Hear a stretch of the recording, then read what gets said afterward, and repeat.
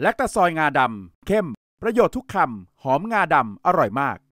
เคนเบอร์ริลได้ทวีกำลังแรงขึ้นนะคะเป็นระดับ 5 เมื่อวานนี้ก่อนที่จะอ่อนกำลังลงเล็กน้อย และเตรียมที่จะพัดขึ้นฝั่งที่จาเมกาค่ะ ซึ่งทำให้ผู้นำประเทศต้องออกมาแถลงโดยด่วนเลยนะคะ ว่าต้องเร่งอพยพผู้คนค่ะ ไปดูภาพถ่ายดาวเทียมล่าสุดกันนะคะ แสดงให้เห็นผลกระทบอันหนักหน่วง ของพายุเฮอริเคนเบอร์ริลบนหมู่เกาะเซนต์วินเซนต์และเกรนาดีนส์ทางตะวันออกเฉียงใต้ของแคริบเบียน โดยเฉพาะเกาะย่อยที่ชื่อว่าเกาะแคเรคู และเกาะเปอร์ติดมาร์ตินิก ก่อนจะเกิดพายุเกาะนี้เคยมีชายหาดอันเงียบสงบค่ะ และอาคารที่ยังคงสภาพสมบูรณ์ ท่าจอดเรือและบ้านเรือนที่เคยพลุกพล่านก็พังทลายลง โดยมีถนนที่เต็มไปด้วยซากปรักหักพัง เต็มไปด้วยเรือที่อับปาง และโครงสร้างพื้นฐานที่เสียหาย ไปดูภาพอีกมุมนะคะในเซนต์วินเซนต์และเกรนาดีนส์เมืองบ้านเรือนพังเสียหายทั้งข้าวของ โครงสร้างต่างๆ มีลมแรงทำให้หลังคาบางส่วนนั้นปลิวหายไปค่ะ ด้านนายกรัฐมนตรีลาฟกอนซาเวส เปิดเผยว่านี่เป็นพายุลูกแรกในประวัติศาสตร์ที่ทวีกำลังขึ้นสู่เฮอริเคนระดับสูงสุด ที่พัดถล่มจนเมืองบ้านเรือน โครงสร้างพื้นฐาน ได้รับความเสียหาย ต้นไม้ล้ม และเศษซากกระจัดกระจายไปทั่ว ตามถนนและเนินเขา เสาไฟฟ้าหักเกิดน้ำช่วมดับฉับพลัน จนถึงขณะนี้ค่ะมีผู้เสียชีวิตแล้วอย่างน้อย 3 คน ส่วนทางด้านไมเคิลเบรนแนนผู้อำนวยการศูนย์เฮอริเคนแห่งชาติของสหรัฐอเมริกา ระบุว่าพายุเฮอริเคนเบอริลพัดขึ้นสู่จาเมกาแล้ว ในฐานะพายุเฮอริเคนระดับ 4กำลังแรง เตือนว่าเบอร์ริลอาจส่งผลร้ายแรงเมื่อเคลื่อนผ่านจาเมกา จึงเตือนให้ชาวบ้านบนชายฝั่งทางใต้ของเกาะ ปฏิบัติตามคำแนะนำของทางการและหาที่อพยพ ศูนย์เฮอริเคนแห่งชาติ NHC ระบุในการบรรยายสรุปเมื่อวันอังคาร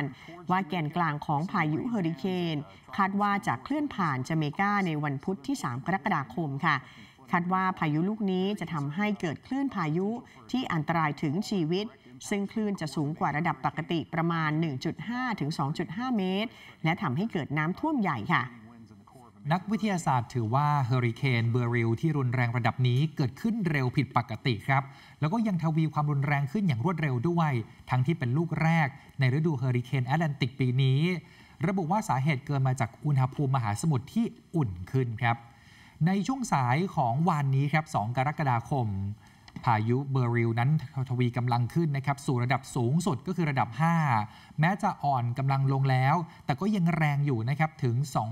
249ติกิโลเมตรต่อชั่วโมงในเวลานี้กำลังที่จะขึ้นฝั่งที่จาเมกาในวันนี้เฮอริเคนระดับ 5 มีความเร็วลมอยู่ที่ 250 กิโลเมตรต่อชั่วโมงขึ้นไป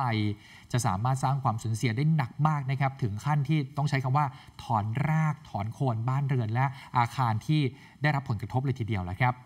เช่นเมื่อวันที่ 26 ตุลาคมนะครับย้อนกลับไปในปี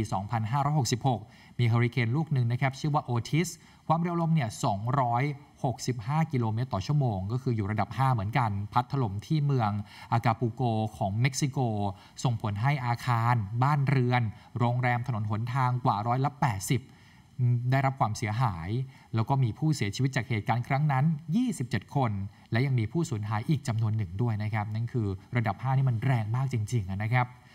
ล่าสุดนี้นะครับ ชาวเมืองคิงสตัน เมืองหลวงของจาเมกา ก็เฝ้าระวังพายุเฮอริเคนเบอร์ริลลูกนี้ ต่างก็พากันกักตุนสิ่งของต่างๆ อยู่กันแต่ในบ้านนะครับ จน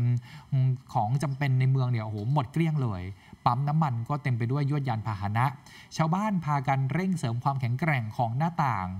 ปิดเพิ่ม 2 ชั้นแม้ว่าชาวเมืองคิงสตันจะคุ้นเคยกับพายุเฮอริเคนอย่างดีนะครับ แต่ความรุนแรงของพายุระดับ 4 เกือบ 5 แบบนี้ทำให้เกิดความกังวลมากขึ้นนะครับว่าพวกเขาจะรับมือกับมันไหวหรือเปล่านะครับ นายกรัฐมนตรีแอนดรูว์โฮลเนสของจาเมกาเรียกร้อง ให้ประชาชนที่อาศัยอยู่ในพื้นที่ต่ำหาที่หลบภัย คนที่อยู่ในพื้นที่เสี่ยงริมน้ำต้องอพยพกันทันทีครับแล้วก็ขอให้ติดตามสถานการณ์จากทางการอย่างใกล้ชิดด้วย รัฐบาลจะรายงานให้ทราบอย่างต่อเนื่อง รัฐบาลจาเมกากำลังประชุมเตรียมพร้อมรับมือกับภัยพิบัติครั้งใหญ่ครั้งนี้ โดยเปิดทำการศูนย์ปฏิบัติการเหตุฉุกเฉินแห่งชาติแล้ว และหน่วยงานที่เกี่ยวข้องทั้งหมดอยู่ในภาวะเตรียมพร้อมขั้นสูงสุดครับส่วนที่เม็กซิโกค่ะชาวบ้านเตรียมพร้อมปกป้องบ้านเรือนด้วยการเสริมความแข็งแรง โดยการนำแผ่นไม้มาติดปิดตามประตูหน้าต่าง โดยเฉพาะจุดที่เป็นกระจก เพื่อป้องกันความเสียหายจากแรงลมค่ะ โดยชาวเมืองกวินตานารู ซึ่งอยู่ติดกับทะเลแคริบเบียนทางทิศตะวันออก เป็นหนึ่งในรัฐที่เตรียมความพร้อม โดยชาวเมืองได้เตรียมเชื้อเพลิง อุปกรณ์ฉุกเฉิน ให้พร้อมใช้งานได้ในภาวะจำเป็น ขณะที่เจ้าหน้าที่ของรัฐและรัฐบาลกลางยืนยันว่าพร้อมที่จะช่วยเหลือประชาชนค่ะด้านเจ้าหน้าที่รัฐบาลสาธารณรัฐโดมินิกันกล่าวต่อที่ประชุม ที่ศูนย์บริหารจัดการเหตุฉุกเฉิน ในกรุงซันโตโดมิงโก เมืองหลวงเมื่อวานนี้ ว่าโดมินิกันยังคงเฝ้าระวังเฮอริเคนเบอร์ริลโดยเฉพาะพื้นที่ชายฝั่งทางภาคใต้ของประเทศค่ะ โดยแม้ว่าเหตุการณ์ดังกล่าวจะไม่ส่งผลกระทบโดยตรงต่อประเทศ แต่ผลกระทบที่เกี่ยวข้อง เช่น คลื่นยักษ์ ลมกระโชกแรง และฝนตกหนักจะพัดถล่มในหลายจังหวัด และอาจจะลุกลามไปถึงใจกลางประเทศได้เจ้าหน้าที่เรียกร้องให้ประชาชนปฏิบัติตามคำแนะนำของเจ้าหน้าที่ป้องกันภัยฉุกเฉิน และห้ามเรือออกจากฝั่งเนื่องจากคลื่นลมแรงค่ะ ขอบคุณที่ติดตามรับชมรายการ TNN News ข่าวเที่ยงนะคะ แล้วก็อย่าลืมกด subscribe กดกระดิ่ง กดไลค์ กดแชร์ ทุกช่องทางออนไลน์ของ TNN ช่อง 16 จะได้ไม่พลาดรายการสด และวิดีโอที่น่าสนใจอีกมากมายค่ะ